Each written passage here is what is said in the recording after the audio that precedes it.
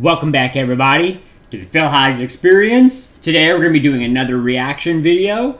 This is going to be to Oliver Anthony, the new artist we just found out about about a week or so ago with his song "Rich Men from Richmond." Uh, we went ahead and, if you haven't seen that, uh, go ahead and uh, put a, a, card or something in the in the thing so you can link to it. But uh, this is his newest song. He just dropped a couple hours ago, and it's going to be your first time listen to. So if you like this kind of content, please like, subscribe, give a thumbs up, hit the bell notification. And on this channel, we particularly like to look for, we like all kinds of music. We just like learning and, and listening and experiencing things in general. But we do have a focus on politics, particularly the conservative points of views and the Democrat points of views and the two sides of those arguments in particular, with a right-leaning bias. So, hopefully this song will be as good at the last and can hit home a lot of uh, important things. I have a pin ready. I had a pin ready. Come on, get untangled. Who knew you could tangle up a pin? So, got my pen ready, got some basic notes. Uh, there won't be any lyrics or anything, so we're just gonna have to wing it and let's uh, let's see what happens. So, with no further ado, let's go ahead and jump right in.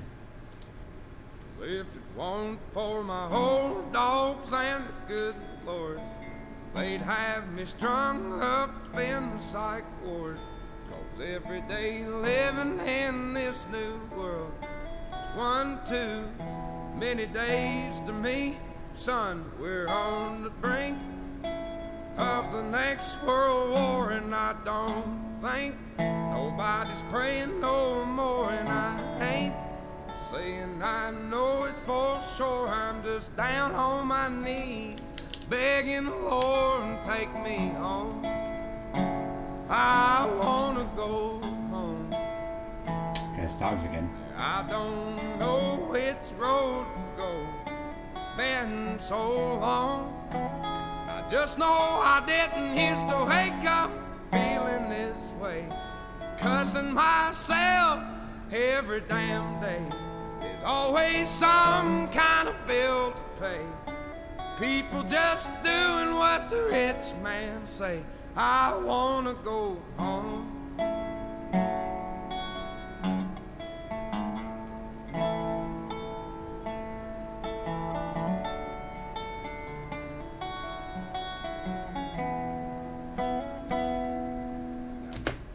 So that was that was really good. I like that. um, I think though it kind of seemed like the focus on this though or, or a good theme you could extract from it was particularly the praying. And I, and I talk a lot about this uh, to people who listen, where much how when you're young, you go on a walkabout or a rumspringa, or you gotta go sow some oats, excuse me, gotta go sow some oats and frolic through Europe kind of stuff. And then eventually you find your way back to God. And essentially, I think that's what our nation is doing as a whole. And that's what he was kind of talking about there with that line about praying, was that nobody's really praying anymore. Uh, but with, songs like this are, are kind of waking up people to the unity that can happen going against the woke mentality, mentality of the left and to come back to God and to have standards and rule of life and, and things like that. Uh, so we're going to go back a little bit. A lot. And then we'll go from there. Let's see what... Break down the chorus. First, whatever.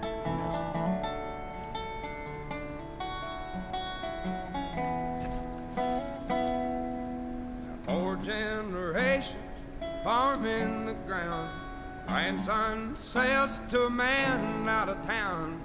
Two weeks later, trees go down. Only got concrete growing around. I wanna go home. I wanna go home. I don't know which road to go. It's been so long. I just know I didn't used to wake up feeling this way cussing myself every damn day. People have really gone and lost their way. They all just do what the TV say. I wanna go home. and that's and that's for sure true. People really do only kind of pay attention to what the TV says. But understandably, I get why. Let me explain. Here's the truth of the matter. Not I'm making up the percents. But like 80, 90-ish percent of people are sheep. That's just how it is. It's the fact of the world.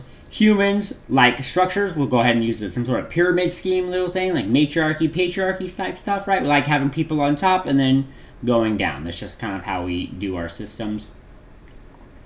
Um, and then let me let me hear that again. On and lost their way. They all just do what the TV say. I wanna go home. And so that's why it's very easy when you get onto TV for people just to do what the TV says. Uh, most people, believe it or not, need to be told what to do or what to think. And, or, or, or let me rephrase that.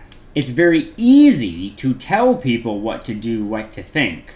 It's very hard for you to teach people how to think so then they can have informed decisions on what to do. Right? See, that's a whole more different. That's a yeah. You took a, a black and white scenario and made a multi-analysis scenario with that.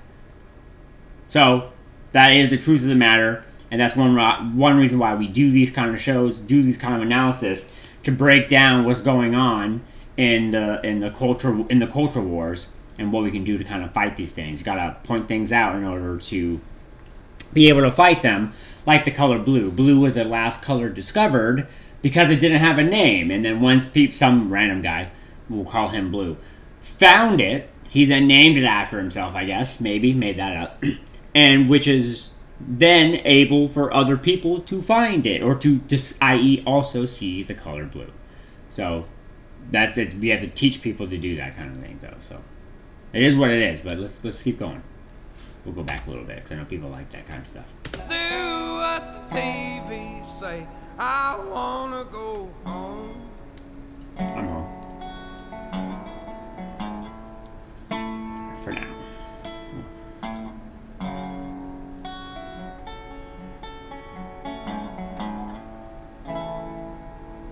If it weren't for my old dogs and the good Lord, they'd have me strung up in the psych ward.